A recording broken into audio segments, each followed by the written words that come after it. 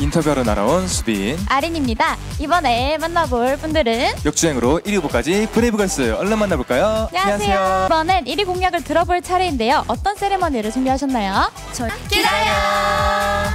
굉장히 중요합니다. 네, 그리고 두 번째는 슈퍼주니어만의 유쾌한 퍼포먼스. 아. 네, 그리고 세 번째는 네, 역시 대단하네요. 그렇다면 슈퍼주니어의 컴백 무대는 언제 만나볼까요?